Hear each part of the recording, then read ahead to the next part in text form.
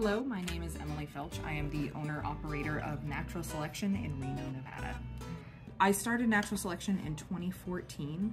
Um, I actually started it with my mom. She's always been the plant side of things. I've always been into the dead things.